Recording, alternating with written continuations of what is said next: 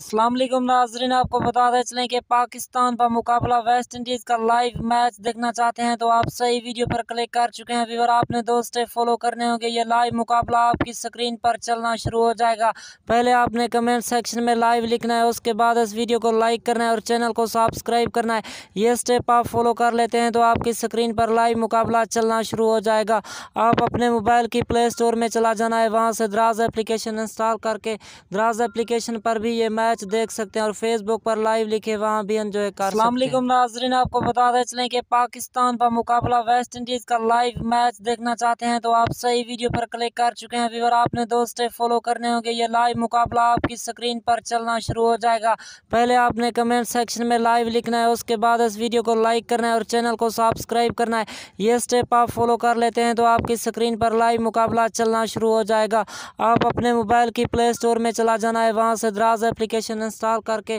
Draj application पर भी ये मैच